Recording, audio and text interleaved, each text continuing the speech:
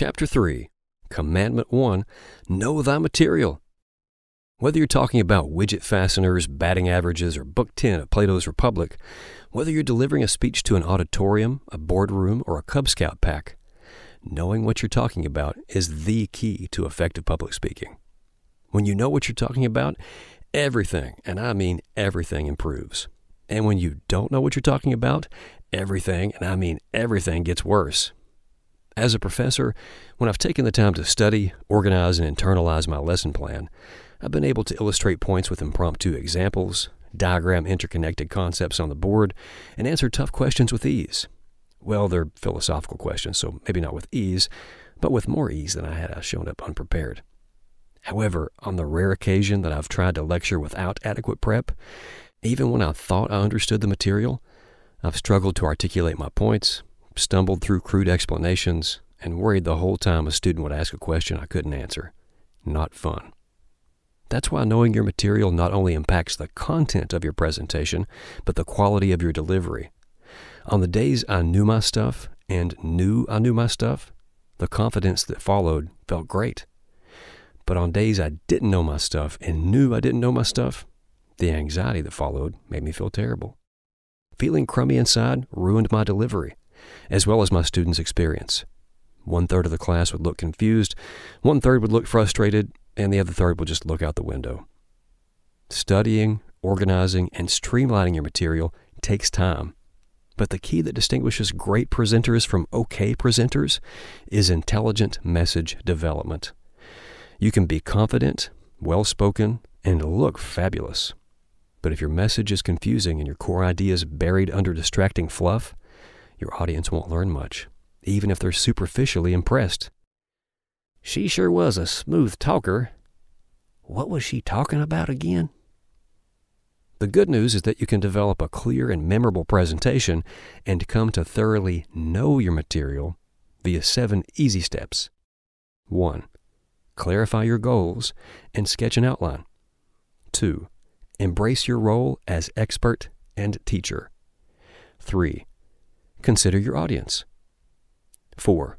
Download and unpack your core message. 5. Logically arrange your ideas.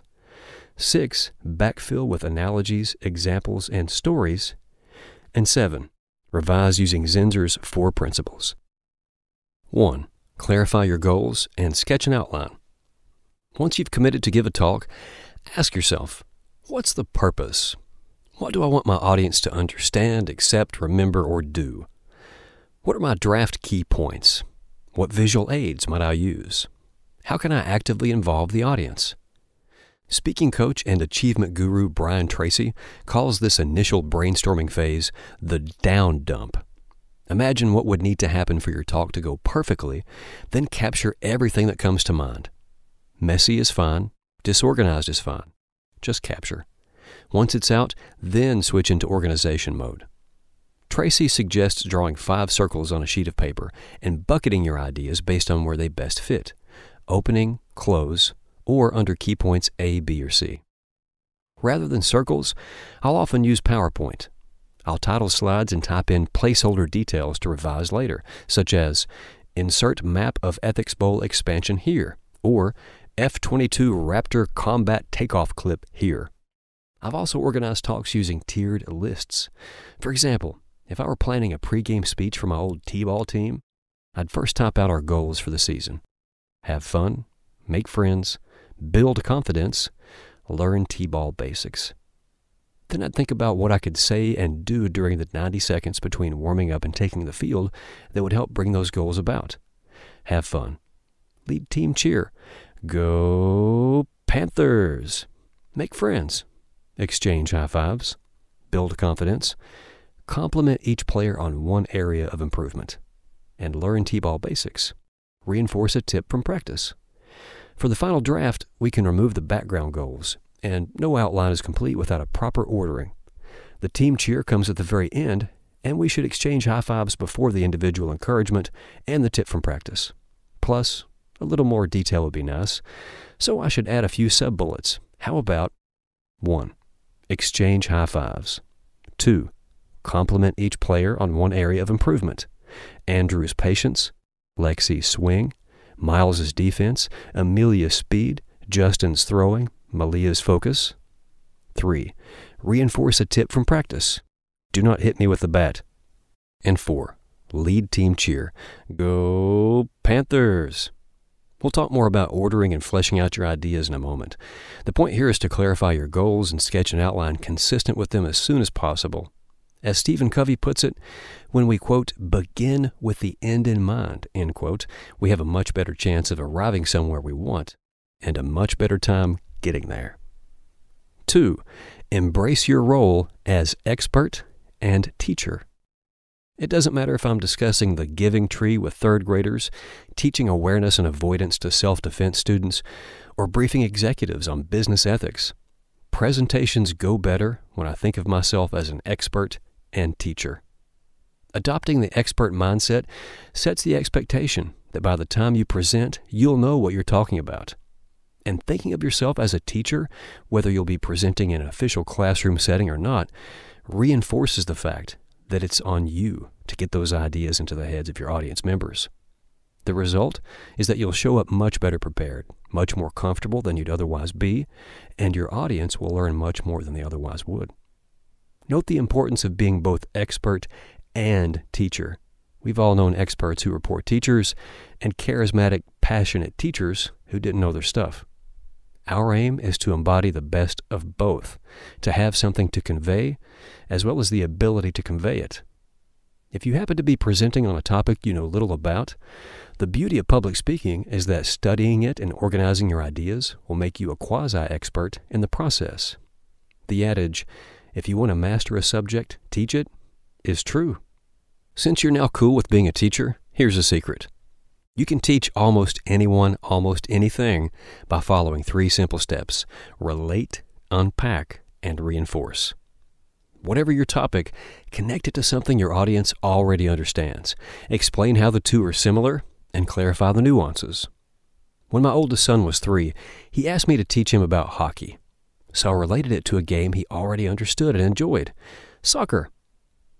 Hockey, son, is soccer with sticks on ice.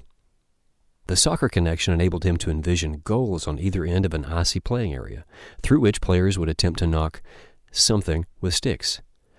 I explained that something was a puck, a smooth rock shaped like a big Oreo cookie, and that the players wore special shoes similar to his roller skates, except with metal blades on the bottom instead of wheels.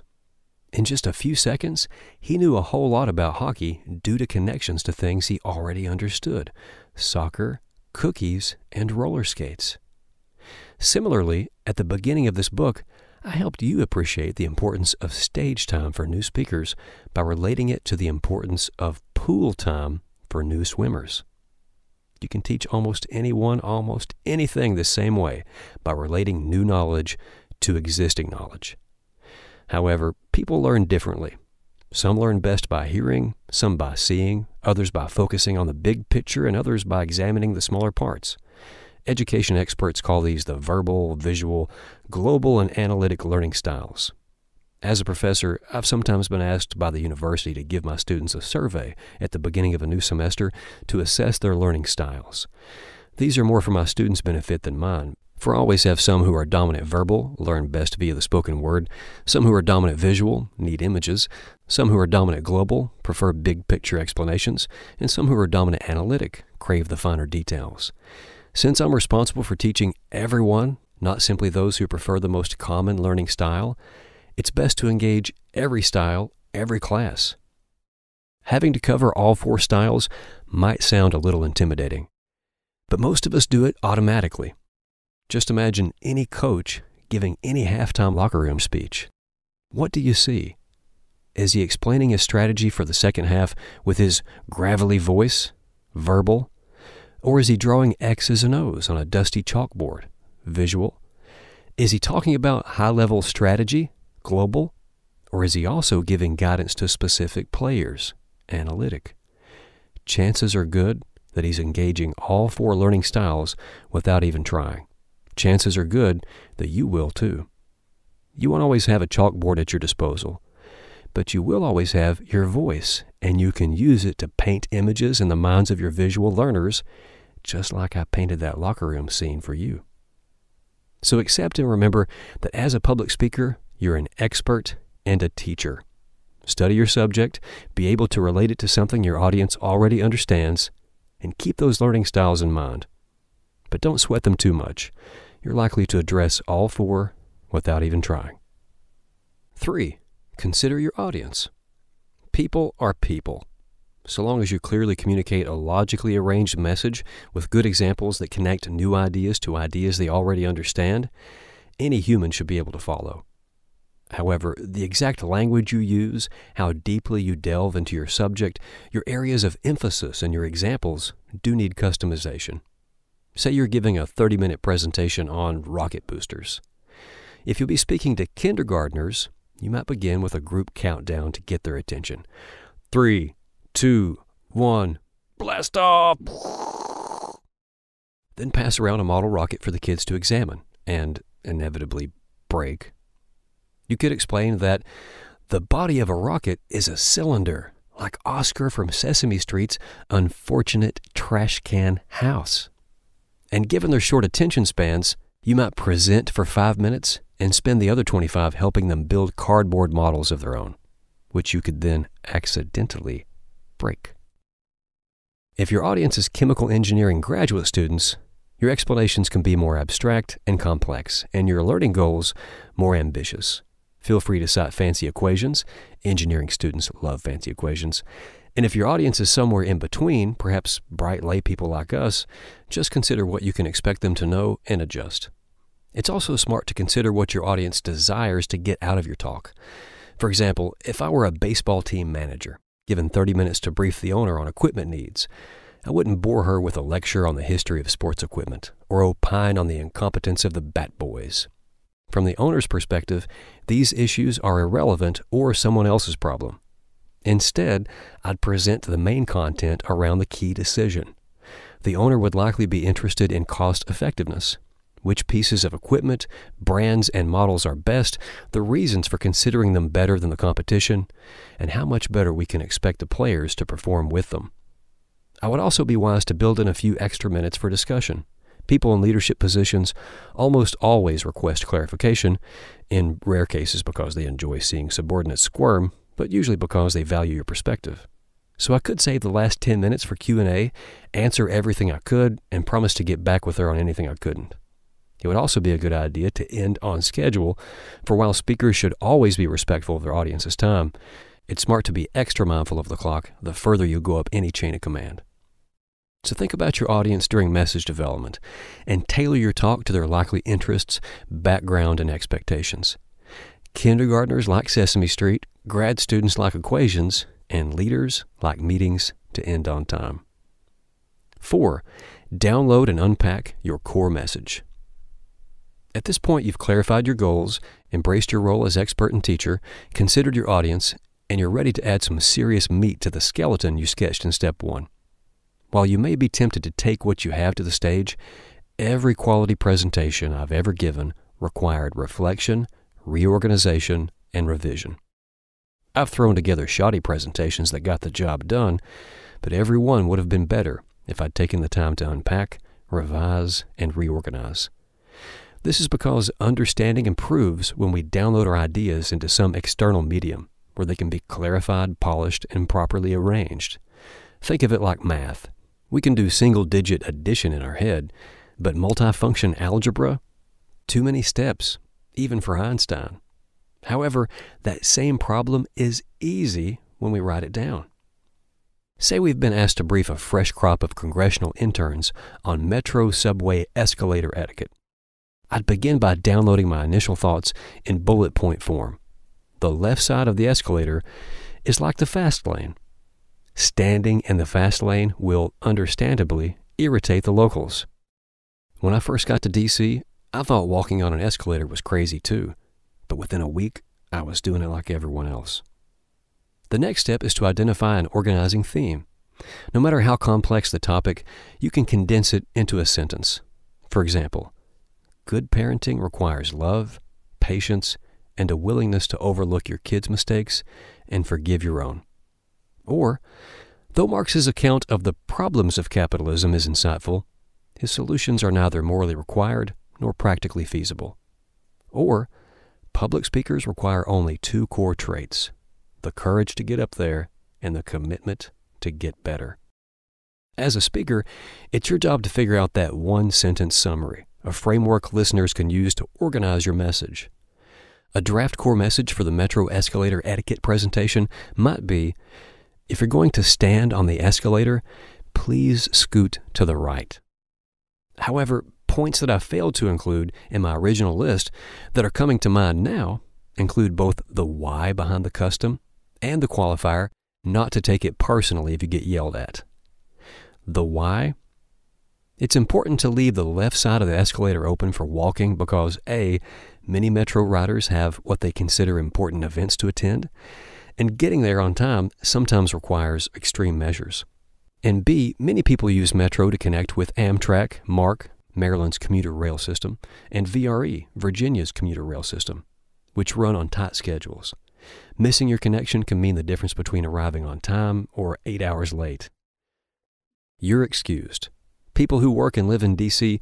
realize that walking on an escalator is odd and are understanding when visitors inadvertently back up the flow. So don't take it personally if someone yells in your direction, asking folks to walk on the left. They're not taking it personally either. Now that we have a decent overview of our main points and the why behind them, we can move into full organization mode. 5. Logically arrange your ideas. When it comes to organizing your message, that cliche, tell them what you're going to tell them, tell them, and then tell them what you've told them, is repeated because it works. Audiences better understand and remember ideas that are introduced early, clearly explained, and then reinforced. The basic structure that works for most any presentation is introduction, preview, body, recap, and close. Depending on your subject, audience, and occasion, you might add elaborations and clarifications, perhaps like this 1. Introduction Hi, I'm your name. Thanks for coming out. 2. Preview Today I'm going to teach you a bit about X, Y, and Z. 3. Body X, Y, and Z include examples. 4. Elaborations. Extra stuff about X, Y, and Z. 5. Clarifications. You may think X and Y are the same, but they're not. Here's why. 6. Recap. High points about X, Y, and Z. And 7. Close. Thanks so much for your attention. For the escalator etiquette presentation, we might arrange the ideas like this 1. Introduction. Hi, I'm Matt. Thanks so much for coming out. 2. Preview. Today I'm going to teach you a bit about metro escalator etiquette in Washington, D.C. 3. Body. Walk on the left and stand on the right. Whether you're transferring from the metro to Amtrak at Union Station or from the red line to the orange line at Metro Center, in all cases, walk on the left and stand on the right. 4. Elaborations. Just like on the highway, the right lane is for slower traffic and the left lane is for passing. 5. Clarifications. This isn't expected in touristy spots like inside the Smithsonian Air and Space Museum. And if you forget and people yell at you, don't sweat it. They're just in a hurry. 6. Recap. Remember to walk on the left and stand on the right. 7. Close. Thanks so much for your attention. I begin most talks by introducing myself and thanking the audience for coming, and close by thanking them for their attention. The middle is pretty standard as well. I get the main idea on the table, explain it, elaborate, clarify, and reiterate. This template usually works, but not always. For example, as a comedy club host, my routine would look like this I'd welcome the audience, preview the touring comics, announce upcoming shows, plug the club's promo items, drink tumblers, t shirts, whatever, deliver my five minute joke set, introduce the feature act, thank the feature and introduce the headliner, thank the headliner and close the show with a raffle, a song, and an invitation to meet the comics in the lounge. If I'd followed my standard model and previewed my jokes in the beginning, tonight I'll tell two jokes about parenting and three about teaching, and recapped the high points at the end. Don't forget that the punchline to my first joke was, unless you're Godzilla, and the punchline to my last joke was, burn her house down, they wouldn't have been nearly as funny. So use your judgment as to when diverging from the usual model makes sense. If you'll be delivering an argumentative or persuasive presentation, you might explain your issue, preview your current view, support it with reasons, and preemptively respond to potential objections. If your material involves a historical account of a series of events or future steps to be taken in a particular order, presenting your points chronologically will make them easier to follow. For example, when presenting on the expansion of high school ethics bowls at a conference in Cincinnati, I projected a blank map of the U.S. with the heading Beginning of Time to 2003.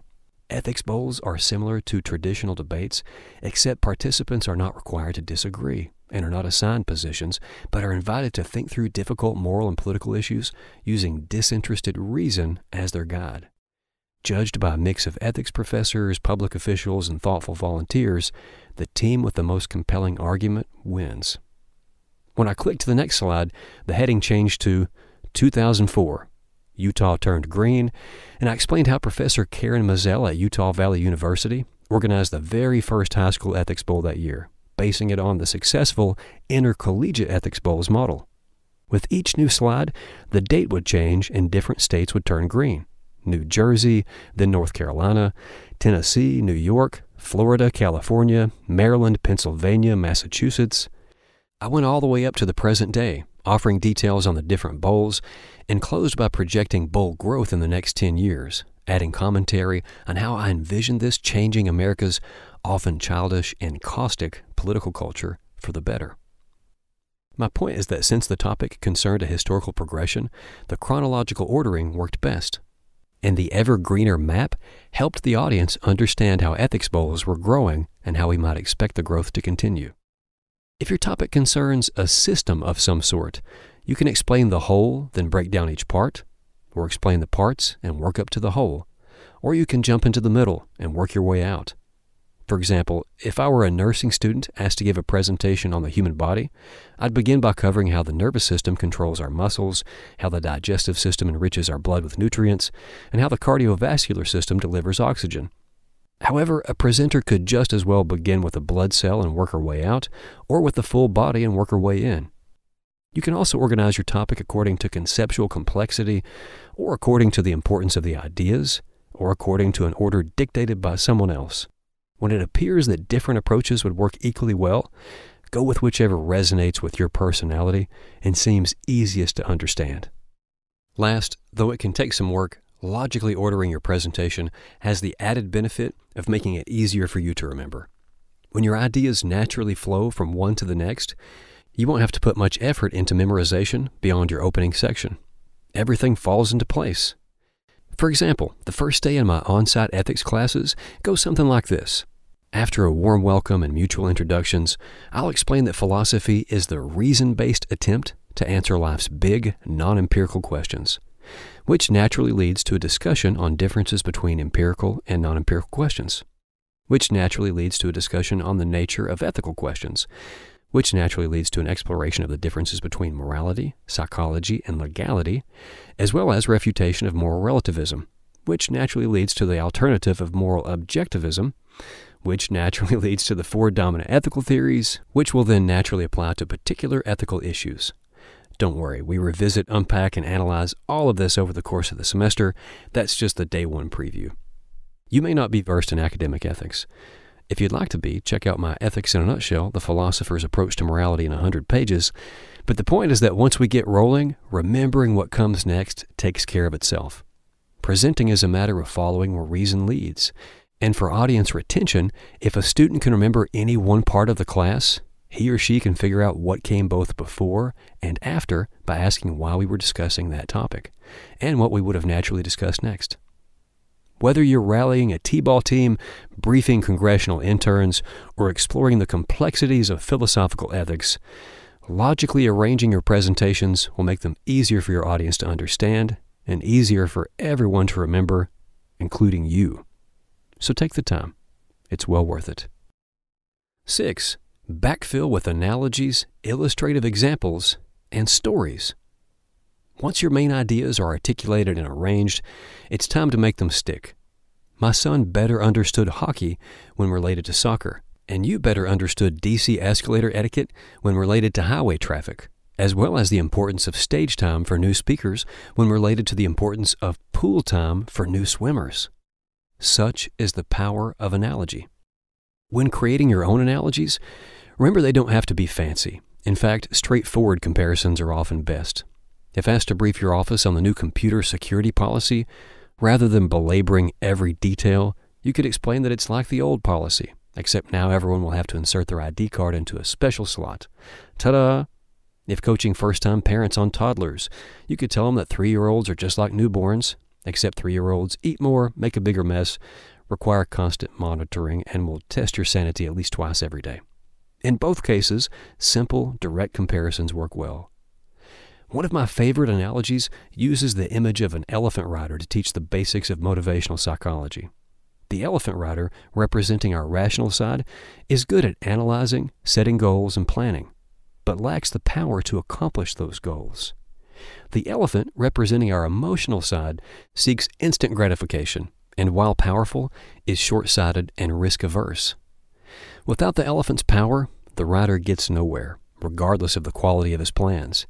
Without the rider's guidance, the elephant charges recklessly toward reward and away from danger. He can't resist. But together they accomplish much, especially with a neatly cut path to follow, the path representing whatever change a person wants to bring about. The rider, elephant, and path make the concepts more vivid, clear, and likely to stick in ways a technical explanation couldn't. Also, notice how learning about the elephant rider helped you better understand and appreciate the usefulness of analogies. This speaks to the fact that concepts better resonate when illustrated with examples. Also, notice how learning about the elephant rider helped you better understand and appreciate the usefulness of analogies. This speaks to the fact that concepts better resonate when illustrated with examples. When teaching students how to write for clarity and concision, a fan of writing coach William Zinsser might cite both his good example of good writing is rewriting and the made up bad example of when an authoring agent undertakes to commit thoughts to paper, he or she accomplishes greater success when writing the second time through in contrast with the first attempt in a written accomplishment. In case you're reading quickly, clarification the second sentence is an example of what not to do. More on Zinsser's principles in a moment. One pro tip from Carmine Gallo, author of Talk Like TED, is to make your examples emotionally potent, and when possible, to engage multiple senses, describing the look, sound, smell, feel. For example, rather than telling your audience that disease X is responsible for a thousand deaths a day, Tell them it kills the equivalent of two commercial airliners packed with passengers daily. You don't even have to describe the flames or screams. Your audience's imagination will do that for you. And they'll judge your talk as more compelling as a result. As Gallo explains it, quote, jaw dropping moments create what neuroscientists call an emotionally charged event, a heightened state of emotion that makes it more likely your audience will remember your message and act on it. End quote. You can also reinforce key points with callbacks, mentioning something later in a presentation that was introduced earlier. Comedians, politicians, songwriters, screenwriters, and authors use callbacks all the time. They're effective communication tools because they reactivate recently activated areas of the brain, which releases serotonin, a substance that we experience as pleasurable. Oh, I don't know if that's true. I'm a philosopher speaker dude, not a brain scientist. But one thing I can say with confidence is that callbacks boost audience receptivity. I was honored to host my high school class's first reunion, and since I'd known everyone for at least two decades, could reference shared experiences that reinforced our intimacy. Miss Lowe's obsession with owls, Coach Webb's constant need to tilt his head back and re-wet his contact lenses, and how everyone once thought Lily was a witch.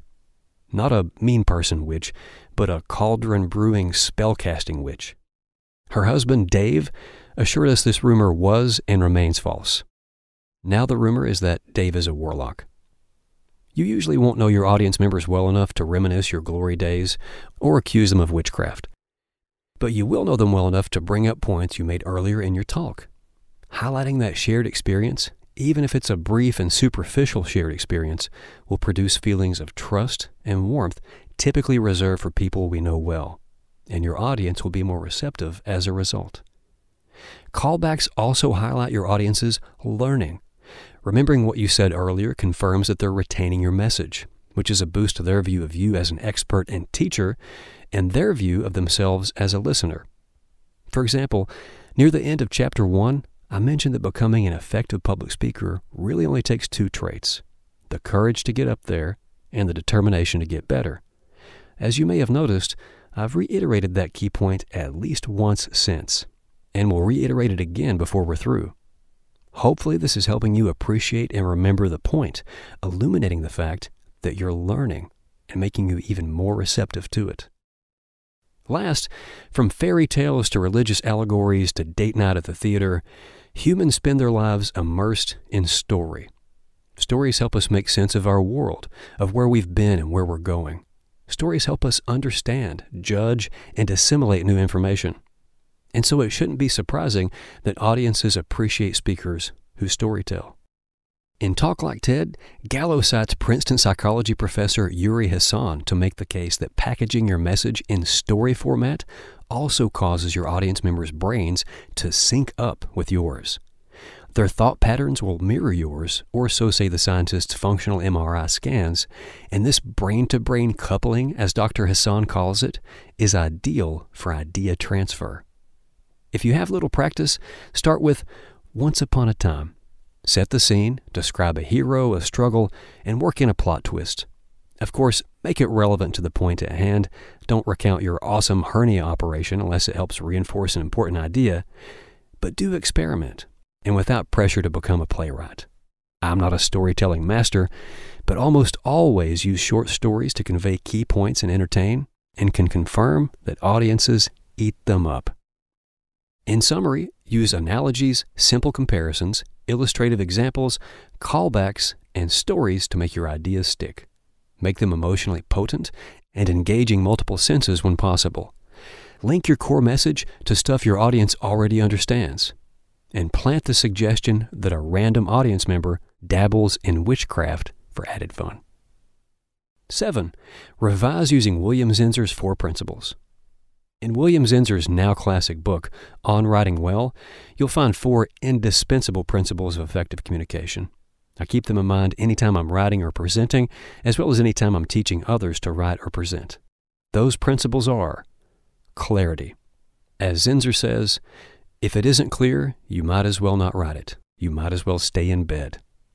Make certain your words convey exactly what you intend, no more, no less. The only time it's acceptable for an audience to wonder what it is you're trying to say is when your topic is confusion and you're giving an example. Simplicity. Unnecessarily complex words and phrases put a barrier between you and your audience. Use simple, straightforward language and refuse to indulge in pomposity. In fact, refuse to indulge in pomposity is itself a pompous phrase. How about no fancy talk? No need to pretend to be smarter than you are with an inflated vocabulary. All it's likely to do is confuse. Brevity.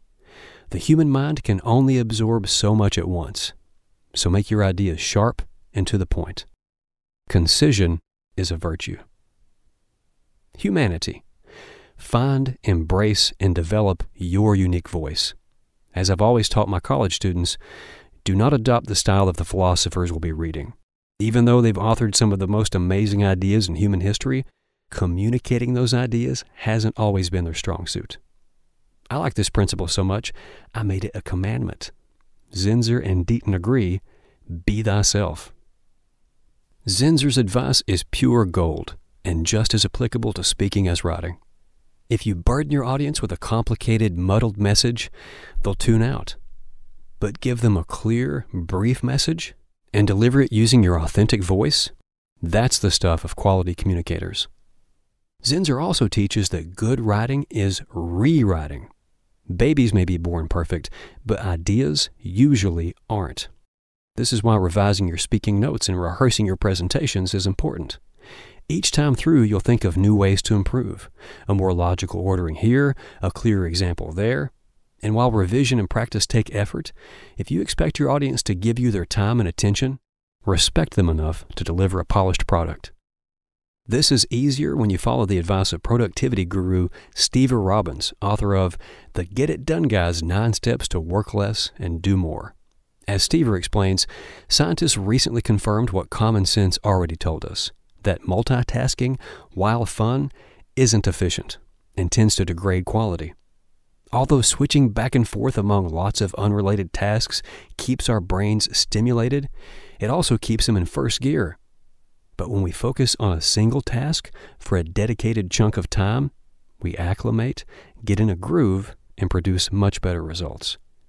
Stever recommends categorizing the items on our to do list according to the sort of activities they entail and tackling one group at a time. When it comes to public speaking, message creation and editing involve different parts of the brain.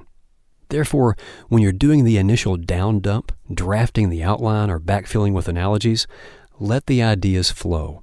Don't stop to judge or analyze, just get it onto the page.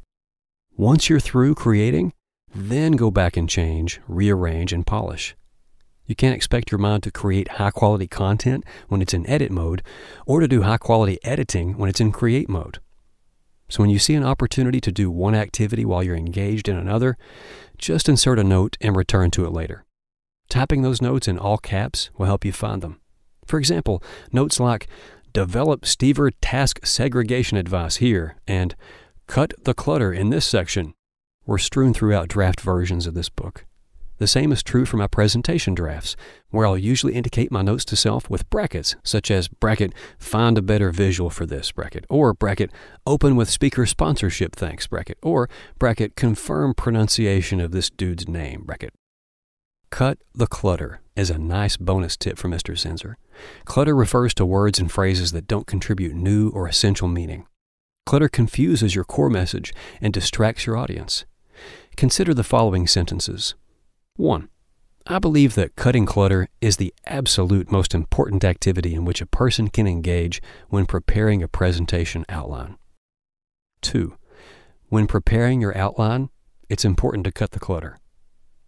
Though both say essentially the same thing, the first is 22 words while the second is 10.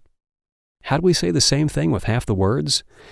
For starters, I believe is unnecessary, for of course I believe what I'm saying. Further, activity in which a person can engage is ridiculously cumbersome. Even the word presentation is clutter, for it's obvious from context that the only outline we'd be discussing is a presentation outline. The second sentence is clearly superior, but it doesn't quite emphasize that cutting the clutter is the most important step, not simply an important step. An alternative coming in at just under 10 words when preparing your outline, Clutter cutting is most important. Simple, clear, clutter free. Wall Street Journal columnist Peggy Noonan explained clutter cutting like this Remember the waterfront shack with the sign, Fresh Fish Sold Here? Of course it's fresh. We're on the ocean. Of course it's for sale. We're not giving it away. Of course it's here. Otherwise, the sign would be someplace else. The final sign? Fish. Clutter cutting can be painful. You realize that material you've spent hours developing is irrelevant, unclear, too long winded, not true to your voice. And you'll be tempted to keep it. Be strong. Keep and mold ideas directly linked to your presentation goals and junk the rest. And if you can't bring yourself to simply delete it, save your clutter in a second file entitled Scraps. The scraps file will make clutter easier to cut, and you'll have it should you change your mind or develop a similar presentation later. Key takeaways Clarify your goals and sketch an outline. Begin with the end in mind, what you aim to achieve, and your essential message. Embrace your role as expert and teacher. You're expected to understand your subject and transfer that understanding to your audience. Internalize that responsibility now. Consider your audience. Tailor your message to match their background, expectations, and goals.